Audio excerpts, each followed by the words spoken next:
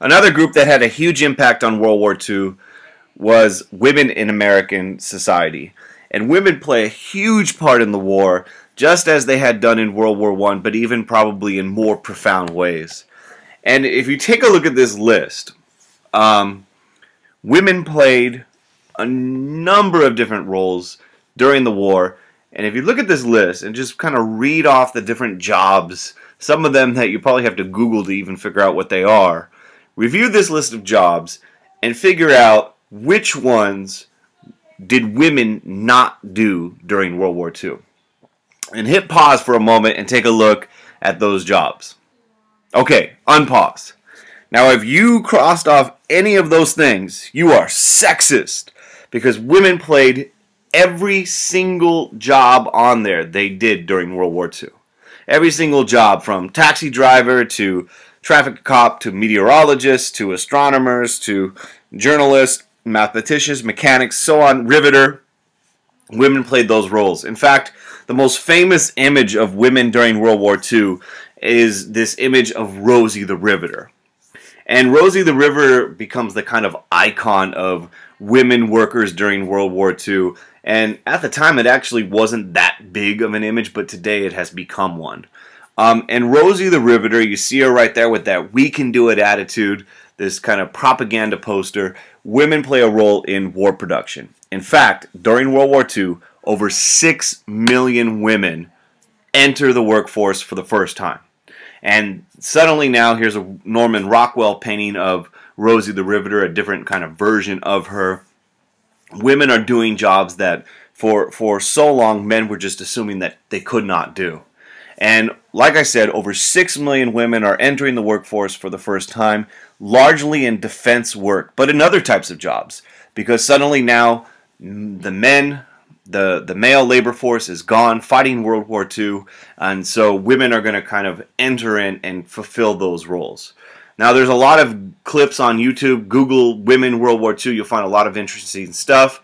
Um, and these are just different images of women playing those different roles that, that men assumed because of sexism that they couldn't do, whether it be making munitions, making airplane parts, um, building the pieces of the plane.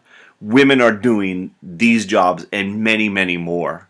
Um, there's a huge outreach effort trying to get women into the factories. There's some great propaganda videos on YouTube of this. Women in the war, we can't win without them. And like I said, for the first time, six million women are are doing jobs that were just basically not available before. And while women are doing these jobs, there is, of course, limitations to this. Women are not allowed to enter into supervisor or management positions. They're oftentimes paid less than their male counterparts. There is still, it's not a fairy tale story. Uh, but once again, women's role in World War II um, is is enormous to the war effort. And once again, here is a real life Rosie the Riveter, a woman uh, in a factory doing riveting work, um, and that's a part of this story of World War II on the home front. This is an interesting image of an actress, Veronica Lake. Um, her name's not important to remember, but one of the things was there was a lot of trainings of trying to get women to do, you know, to to adjust to this new work life. Uh, and so in this particular image, she's supposed to be showing women, be careful with your long hair. You've got to, you know, protect yourself in the factories because because bad things could happen. So these are the different jobs that women are playing during the war, and along with others, nurses, you know, receptionists, secretaries for the war effort. But once again, when the war is over, there is this perception that women are replacements.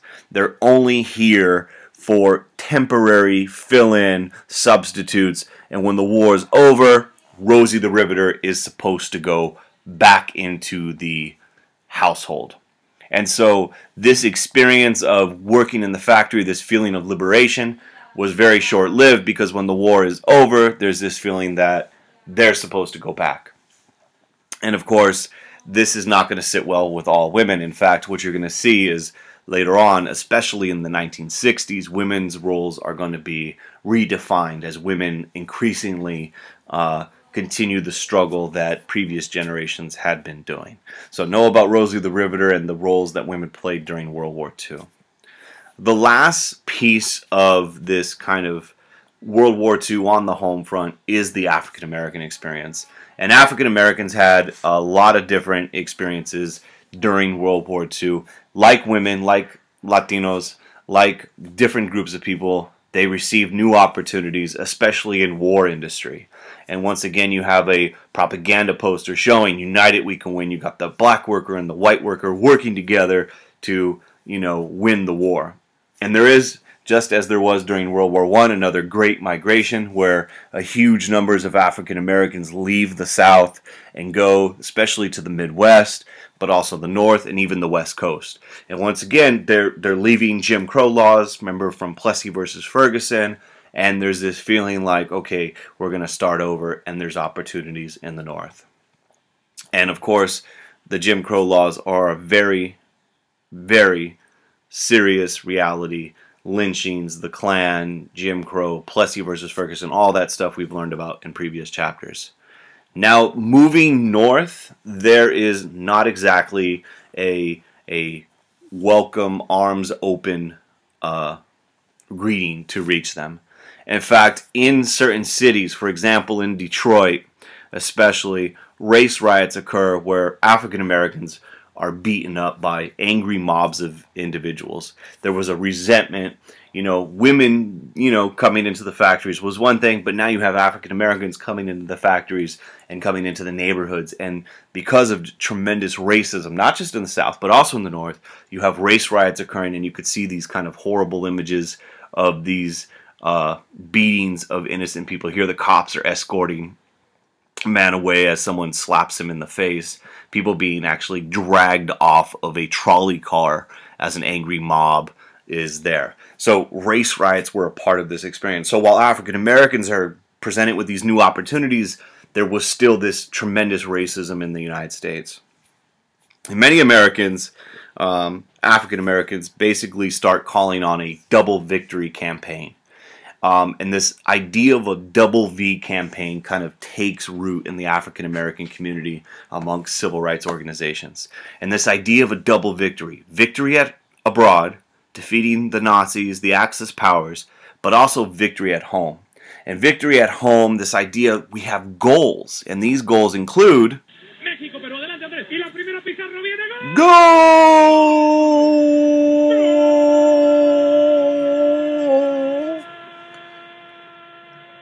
Can't do it the whole the whole way through. But victory against the enemy abroad. We're going to defeat Hitler. We're going to defeat the Axis powers. We're going to win. The African American soldiers are going to serve very bravely in segregated units. African Americans are going to be segregated while fighting this brutal, horrible enemy. African American soldiers once again are going to be segregated uh, in in units based upon race. So while they're fighting and risking their lives, you have this kind of racism going on on the battlefield. The other part is victory at home. México, pero adelante Andrés. Y la primera Pizarro viene gol. Gol.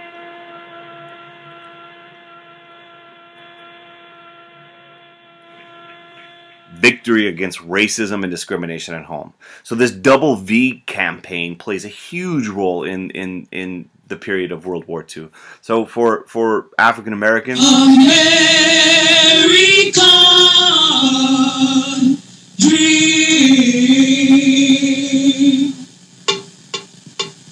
you get new organizations formed. Probably the most famous and the most important one is CORE, the Congress of Racial Equality. And the Congress of Racial Equality is created in the 1940s, and they're basically taking on segregation head on in the North. They are staging sit ins at Chicago restaurants, they are protesting. You got these different images of people protesting segregation in schools, talking about freedom now. Congress of Racial Equality is formed, as well as the other organizations, the NAACP. And for the African American community, World War II is kind of this this boiling point becomes harder and harder to ignore the lack of civil rights when we're fighting this war once again. World War One, making the world safe for democracy. World War Two, we're going to defeat this horrible enemy. And you have organizations such as CORE, and there's their official symbol, making equality a reality, the Congress of Racial Equality, and you get people protesting. And dying in your beds many years from now, would you be willing to trade all the days from this day to that for one chance, just one chance, to come back here and tell our enemies that they may take our lives, but they'll never take our freedom!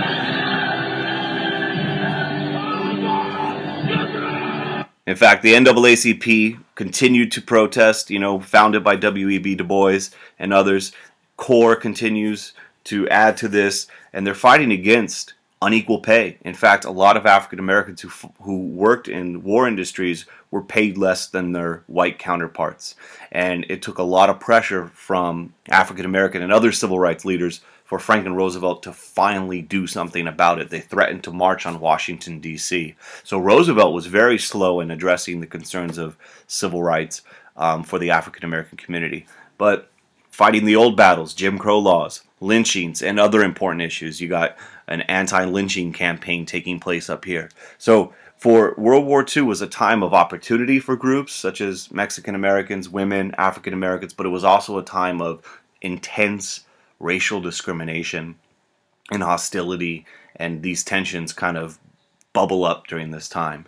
Um, here's another great image of African American and white civil rights activists protesting the fact that African Americans were denied certain jobs. Um, and certain jobs were not open to African Americans, and so you have this group protesting that fact. In fact, here is very plainly put if Negro men can carry guns for Uncle Sam, surely they can drive milk wagons for Bowman Dairy. And Bowman, the company, was not allowing African Americans to, to be drivers at the same time that African Americans were spilling blood in places like France or in different islands in the Pacific. So, once again, this double victory campaign. Last group is just kind of want to share the Tuskegee Airmen.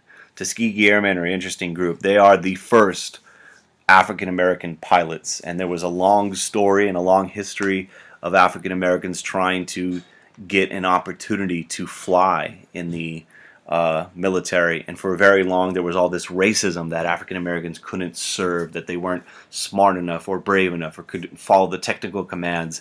Uh, and with a long, long history behind it, eventually the Tuskegee Airmen uh, were granted the right to begin training and flying and served very honorably in World War II. And there's a, a movie about it, not a very good movie from what I hear, but uh, came out, I think, Red Tail or something like that. So, Tuskegee Airmen. So, read about all the stuff and know about it.